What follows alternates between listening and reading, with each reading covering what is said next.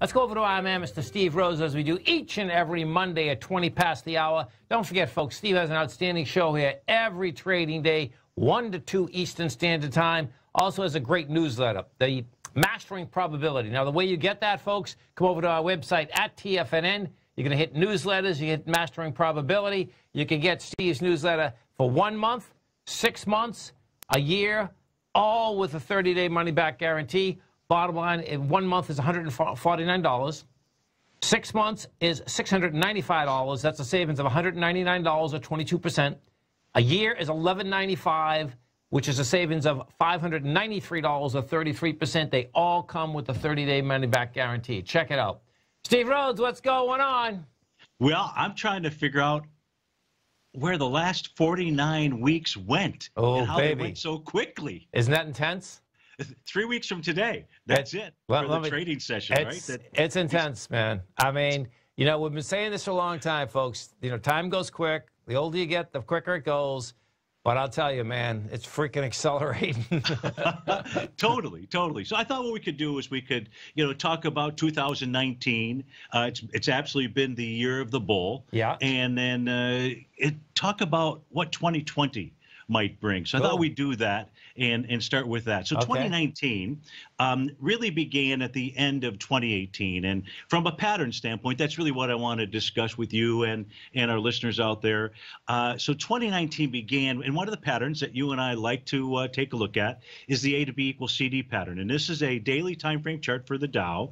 And the beauty of the A to B equals CD pattern is the market does 75% of the work for us. What I mean by that, it identifies the swing points. A, B, and C. In this case here, we go back. The top was October in 2018, or there was a high in October of 2018, and uh, makes the A to B. Now, in this case here, and somewhere in your book, I believe you say, well, I know you say if there's a one to two A to B equals CD, you're going to see a change in trend. But I think you feel the same way about a one to 1.618, which correct. is the Right. which, which is the pattern that formed here. And it was really a perfect uh, A to B equals CD pattern. Now, for me, these patterns confirm when there's a bullish or bearish reversal candle. I heard you mentioned a uh, hanging man candle. In this case here at the bottom, uh, this was a nice big old bull sash candle. That was the day that we saw the Dow uh, move higher by a little over a thousand points out there. But Yes. that said, that that was the pattern that really began the bull market of 2019. So what else do we know out here?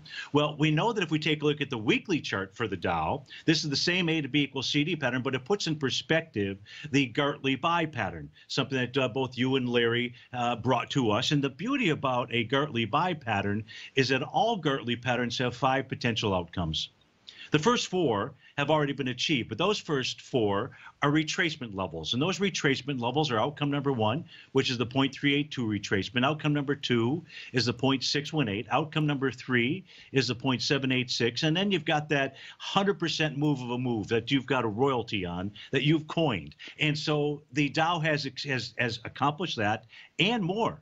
So what is outcome number five? Well, outcome number five is when the Gartley pattern, in this case here, Gartley buy pattern, turns into a new A to B equals CD. But we have to go much further back to identify the A point on a weekly chart. This is what we're taking a look at for the A to B equals CD pattern. So here, this shows the Dow with a one-to-one price projection in the A to B equals CD on a weekly basis, getting up to the 33 to 13 level. Now, on this chart here, if the markets were to continue moving higher, and what I'm specifically talking about, so on my A to B equals CD tool that I've developed, it's really important to maintain the exact same uh, angle of a line from A to B as it is from C to D. Okay. In this case here, when price is moving on the left-hand side of that C to D leg, it tells you it's an even stronger move than what we saw from A to B. So in this case here, the initial price projection will be 33 to 13. But that's the good news.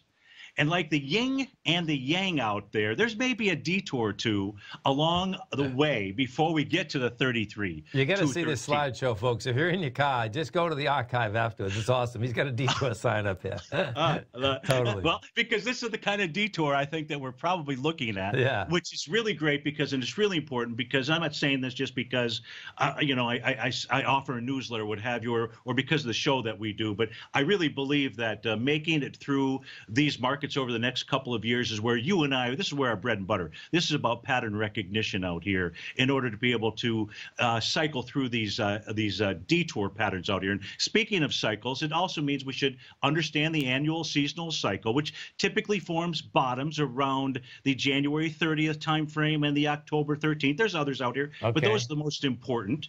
And then you typically get a top around January 6th and in the uh, May 19th level. Yes, there's some other ones, but those are the four basic turns that we see in the market on an annual basis. And if we take a look at cycle dates, which should really be used as guidelines, what we can see is that in 2019, the tops and the bottoms have arrived early. So the red arrows on this screen identify the actual topping dates based upon the annual seasonal, and the green arrows represent the actual dates for the bottoms. And what we can see here is that uh, these these little humps tell us that uh, the time distance between when something happened and when it should have happened. So everything here, both tops and bottoms, have been occurring early.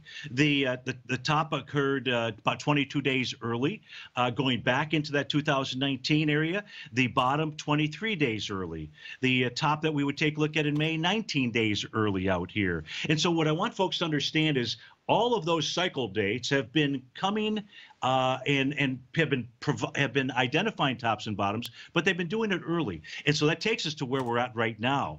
Because if we take a look at the Dow pattern, and here the Dow formed what I call a Rhodes Momentum Indicator top on November 27th and that's about 24 trading sessions earlier than the January 5th timeframe. Okay. So the patterns that are in place right now are really important to watch. Now, how are we going to know if 1127 was a top in the Dow? And this happens to show the S&P, the Dow, the NDX, Russell 2000. And my take is this, Tom: if we see the Dow trade above 28 174.97, that was the high in November. What I would anticipate is price is going to continue to move higher through the rest of the year. If it doesn't, and we haven't gotten above it right now, then my downside targets become perhaps another A to B equals CD to the downside, or setting up another Gartley buy pattern. So there's two. Right now, what we know is that there's a valid top that's in place. But if that top gets taken out, and because of the favorable seasonal cycle, what I would anticipate is that price would continue to move higher based upon that seasonality into the end of the year. And that outcome could lead to some really bad news. And the really bad news is when the Dow makes significant tops, it does it on its longer term charts, its monthly time frame. The bear market that formed in 2000, there was a Rhodes momentum indicator signal that preceded that. The same thing in 2007. The same thing that began the 2015 consolidation. The same thing that began the 2018 move, uh, bear market that pushed the price down into that A to B equals CD pattern we looked at. And that's when price moves higher and does with less relative strength out there. And when that pattern's around, if it does confirm, which it needs to confirm with the bearish reversal signal, there could be some really significant problems. And here are 16 of the 30 Dow stocks on their monthly time frame have all of these topping signals. And, and, and the reason why the Rhodes Momentum Indicator is so important is because of all the tops and bottoms. This is a chart for the Dow that it has identified out here. And therefore, if the Dow forms a monthly bearish reversal candle, what that says to me is that 2020 will be the year of a bear market. What a great update, man. And, and, and what's so cool about this, folks, okay, you know, this is factual, meaning that we'll wait and see what, what ends up happening at the end of the month.